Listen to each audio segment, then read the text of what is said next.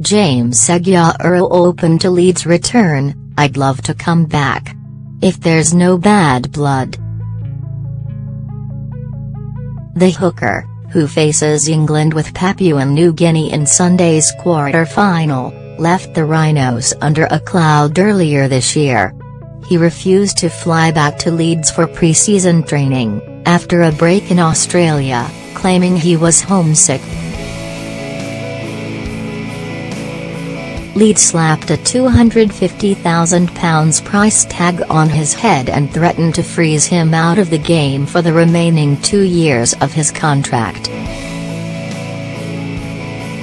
Rhinos chief executive Gary Hetherington said they had to make that controversial stand to stop other players walking out on contracts. The saga was eventually settled two months later, in March this year when an undisclosed settlement fee was paid to Leeds. I really enjoyed it. The fans, the whole area, how the club works James Segeyaro he is now playing for NRL side Cronulla and plotting England's downfall in Sunday's World Cup clash. But he insists his future may see him going back to Leeds, claiming, I really enjoyed it. The fans, the whole area, how the club works. They really care for you.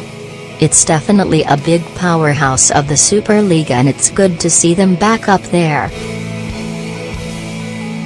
If I ever had the opportunity to go back I would, at the back end of my career, I thoroughly enjoyed it and it was a great experience. Had a great year and congratulations to them for winning the grand final, they definitely deserved it.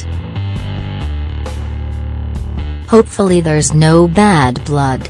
Segeyaro initially joined Leeds on loan in July 2016, helping Leeds win nine of their last ten games before signing a two-year deal in September.